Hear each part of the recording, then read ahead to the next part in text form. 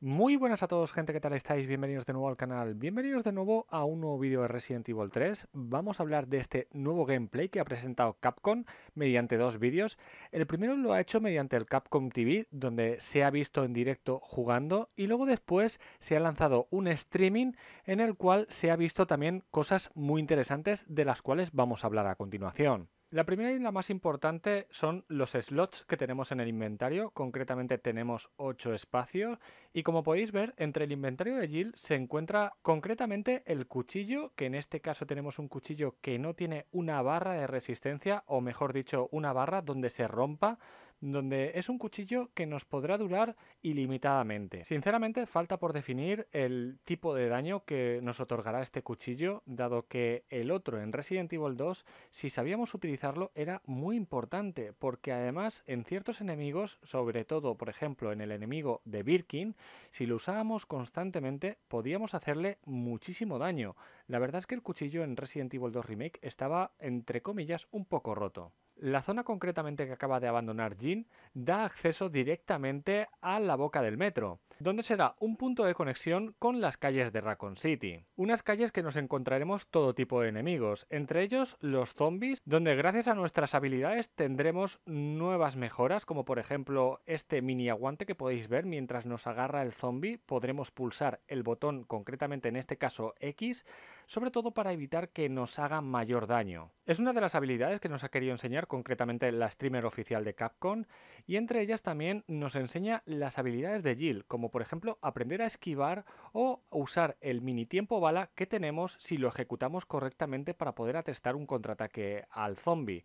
Esto será fundamental porque en esta entrega parece ser que habrán muchos más zombies o más bien ubicados sobre todo y tendremos que tener en cuenta esta faceta de Jill para poder conseguir adelante si queremos ahorrar munición. Una munición donde se ha confirmado que será más abundante en este juego y que a la misma vez tendremos más enemigos a los cuales abatir, pero sobre todo tendremos que aprender a usar las habilidades de Jill como he mencionado antes, como esquivar o usar el tiempo bala para así atestar un ataque mortal contra dichos enemigos. Las calles de Raccoon City serán más ampliadas y sobre todo tendremos mucho backtracking en lo cual podremos explorar distintos locales que estáis viendo o sobre todo ir a ciertas zonas para obtener mejoras para tanto la pistola o otras armas concretamente de la aventura. Además de por supuesto a lo largo de dicha exploración también obtendremos riñoneras el cual aumentaremos los slots de nuestro inventario. Otra parte que será fundamental para poder sobrevivir de este horror será fijarnos muy bien en los escenarios porque habrá algunas zonas concretamente que podremos utilizar sobre todo para ayudarnos, como por ejemplo este barril, que si lo utilizamos y tenemos algunos zombies, los podremos limpiar con queroseno y así poder seguir adelante. Otro detalle que me he fijado es concretamente en esta zona que veis a continuación. Si os fijáis bien, en la parte central, además de tener más de cuatro zombies, tenemos distintas tiendas dispersas a lo largo de esa zona. Es decir, que hay varios caminitos y sobre todo tendremos que tener bastante cuidado porque es una zona muy aumentada de enemigos, es decir, tenemos bastantes enemigos y sobre todo pues tendremos que seguir un patrón de estrategias si queremos ahorrar munición o simplemente si no queremos limpiar la zona de zombies. Otra de las cosas que me he fijado es que podremos volver a conseguir pólvora, una pólvora que podremos mezclar y así obtener distintos tipos de munición, desde escopetas, pistolas o otro tipo de munición para otras armas. Pero el factor estratégico será elemental más allá de todo esto, como podéis ver, dado que igual como vimos en el uso del barril, aquí podremos también darle concretamente a esa zona para electrocutar a dichos zombies. Por otra parte tenemos las distintas tiendas que se han dejado entrever, es verdad que no se ha apreciado a primera vista zombies o alguna sorpresa en cuanto a enemigos se refiere, pero sí que podemos apreciar gráficos en cuanto a iluminación se refiere porque se ve escandalosamente bien el reflejo de la linterna o sobre todo los cambios de iluminación que vemos en los interiores. Otra cosa a destacar es que a diferencia de Resident Evil 2, en este caso en lugar de tener llaves con candados que necesitaba una contraseña, aquí necesitaremos las ganzúas, unas ganzúas que encontraremos a lo largo del juego por distintas localizaciones para poder llegar a ciertas taquillas y así obtener objetos que merecerán la pena. Parece ser que esta zona trasera de dicha tienda, que parece como una lavandería, también encontraremos un objeto importante que es un joyero que podéis ver a continuación. El objeto concretamente es una gema roja que recuerda muchísimo a la joya roja que vemos en Resident Evil 2. Os mentiría si dijera que no he encontrado guiños del Resident Evil original, pero sí que los hay. Concretamente podemos ver uno de los míticos, que es este, como podéis ver, un zombie que sale de la puerta de un coche de policía y que seguramente en más de una ocasión nos sorprenderán con este tipo de iniciativas, dado que además son zonas, como podéis ver, muy reducidas y será algo más complicado deshacernos de ellos. Otra zona interesante es este peculiar interior, donde podéis ver que es como un almacén o un trastero, y nos espera un enemigo muy cercano nada más abrimos la puerta, o sea que nos vamos a encontrar con sorpresas de todo tipo. Ya de por sí, no solamente Nemesis nos lo hará pasar verdaderamente mal, sino que tendremos situaciones en las que tendremos que pensar en menos de un segundo si queremos salir con vida.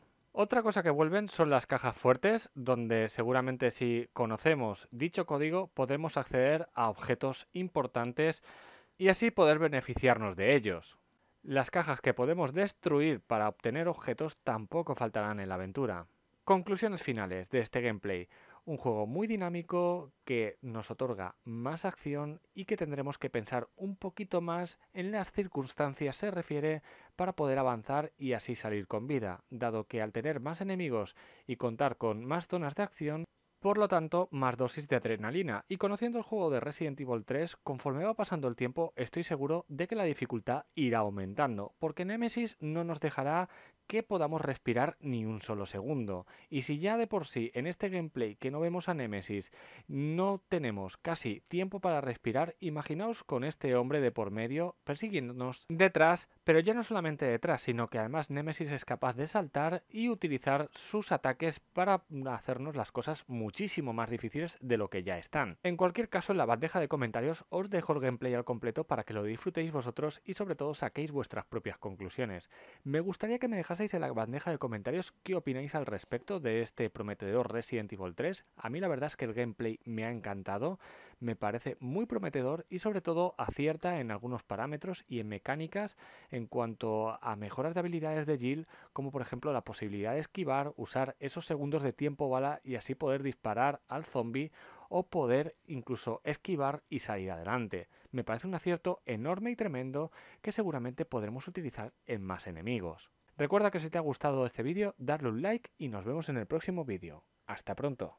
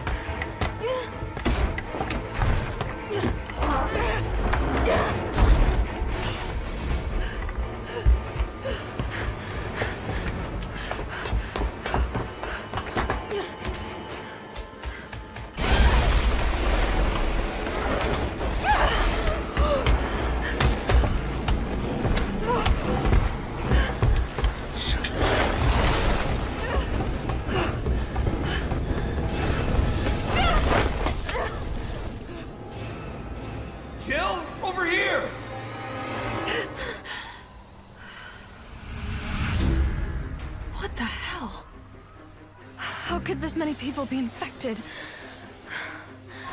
This city is completely cut off, isolated. Don't look at me like that, alright? I'm not infected.